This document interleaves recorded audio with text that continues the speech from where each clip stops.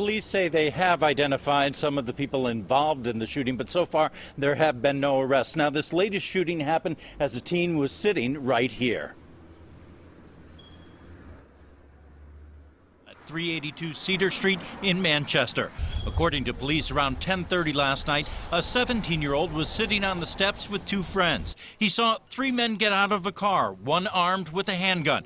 Police say the teen and friends started to flee. As the teen was closing the door behind him, he heard a gunshot and felt an impact in the doorway uh, in which he was standing. The teen did suffer a minor abrasion which did not require medical attention. I heard a bunch of ruckus out in front, in the front hallway, and then I heard a pop sounding like a gun. Police would recover a 22 caliber shell casing from the scene.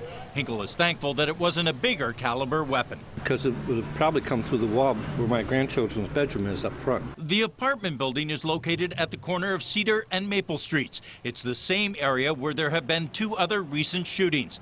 Back on June 8th, a 22-year-old man was shot in the leg on Maple and Lowell Streets. And then last Wednesday, a 23-year-old man was shot in the back in an alley near Maple and Amherst Streets. We are certainly examining the possibility that they are connected. There is no definitive information at this point that would link them. Police say in this latest case, it appears the teens were targeted, although the 17-year-old told police he didn't recognize the attackers.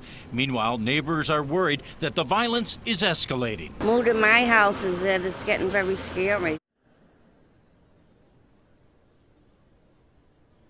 The suspect is described as a black man, about 6'2", with light skin, bad acne, and a thin build, wearing white shorts, a gray hoodie, with black sneakers and white socks pulled up high. The car said to be a newer silver Chevy Impala with dark tinted windows. Reporting live in Manchester, Ray Brewer, WMUR News 9.